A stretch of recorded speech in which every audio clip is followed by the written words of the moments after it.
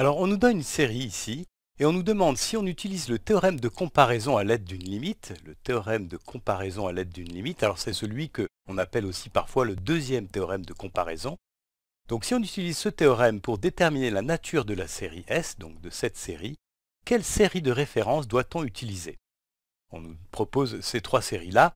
Alors on va commencer par se rappeler un petit peu de ce que c'est que ce théorème de comparaison à l'aide d'une limite, ce deuxième théorème de comparaison.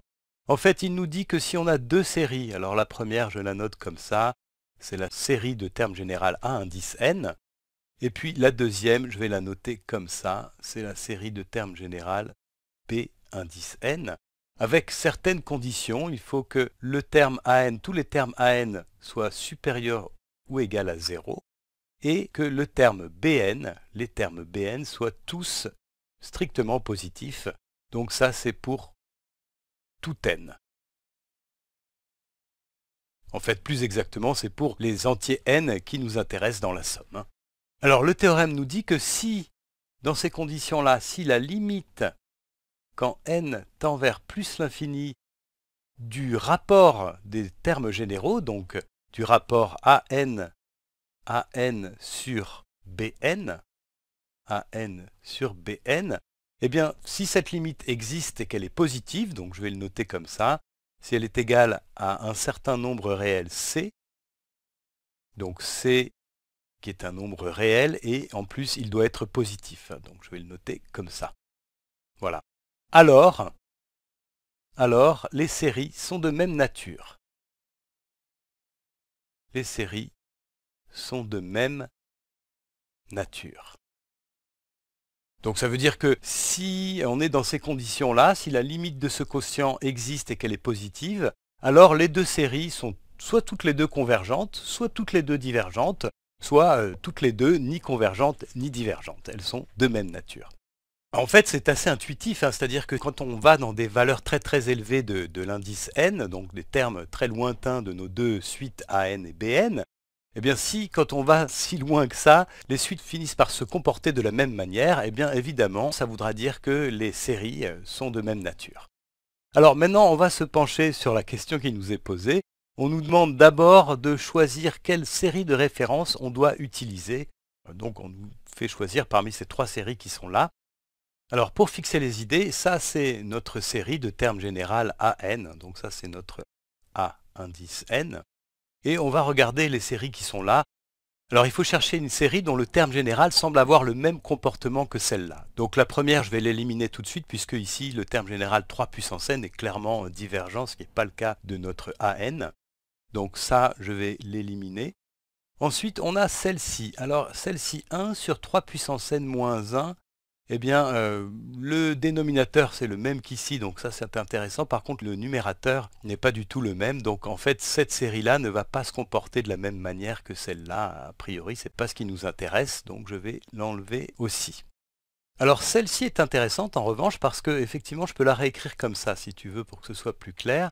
C'est la somme pour n égale 1 jusqu'à plus l'infini de 2 puissance n sur 3 puissance n. Donc, tu vois que elle est très très proche de celle-là. En fait, la seule chose qui change, c'est qu'au lieu d'avoir 3 puissance n moins 1 au dénominateur, on a 3 puissance n. Donc ça c'est intéressant et je vais me concentrer sur cette série-là. Parce qu'en effet, le comportement de ce terme-là et de ce terme-là, quand n tend vers l'infini, va être le même. Hein.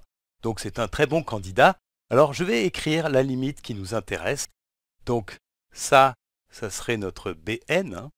Et donc la limite qu'on doit écrire, c'est la limite du quotient AN sur BN. Alors je vais l'écrire comme ça.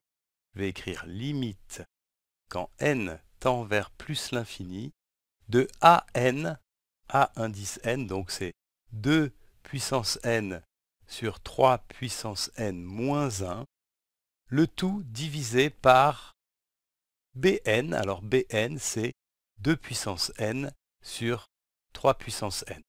Alors je vais faire quelques manipulations algébriques, je vais le faire ici. Hein. Donc j'ai 2 puissance n sur 3 puissance n moins 1 divisé par 2 puissance n sur 3 puissance n. Donc ça, ça revient à multiplier par 3 puissance n sur 2 puissance n. Donc ça, les 2 puissance n se simplifient. Et donc ça, ça me donne, alors au numérateur, j'ai 3 puissance n divisé par 3 puissance n moins 1.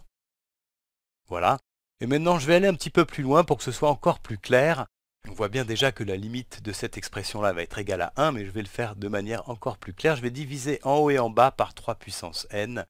Donc ici, au numérateur 3 puissance n divisé par 3 puissance n, il me reste 1.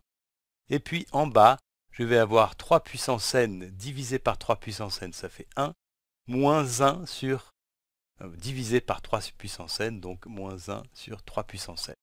Voilà, donc finalement, la limite que je cherche à calculer, c'est la limite quand n tend vers plus l'infini de cette expression-là. Alors je vais l'écrire sans couleur maintenant. 1 sur 1 moins 1 sur 3 puissance n. Alors évidemment, quand n tend vers plus l'infini, ce terme-là tend à 0. Et donc la limite du quotient, c'est 1 sur 1 moins 0, donc c'est 1.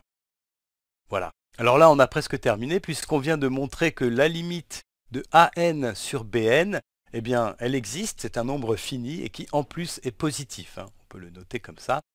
Donc effectivement, ça c'était la bonne réponse, c'est la série qu'il fallait choisir. Et maintenant, on nous pose cette question-là, que peut-on conclure concernant la nature de S? Alors nous, ce qu'on sait maintenant, c'est que les deux séries, cette série-là et cette série-là sont de même nature. On sait qu'elles sont soit toutes les deux convergentes, soit toutes les deux divergentes, soit toutes les deux ni l'un ni l'autre. Et du coup, ce qu'il faudrait arriver, c'est à voir si cette série-là est convergente ou divergente. Alors ça, c'est simple parce que ici, on a une série géométrique, hein, de raison 2 tiers, et 2 tiers est inférieur à 1, donc on a une série géométrique de raison inférieure à 1, positive mais inférieure à 1. Donc cette série-là, elle est convergente. Et donc, d'après notre théorème de comparaison à l'aide d'une limite, la série S, elle est convergente aussi. Elle est convergente aussi.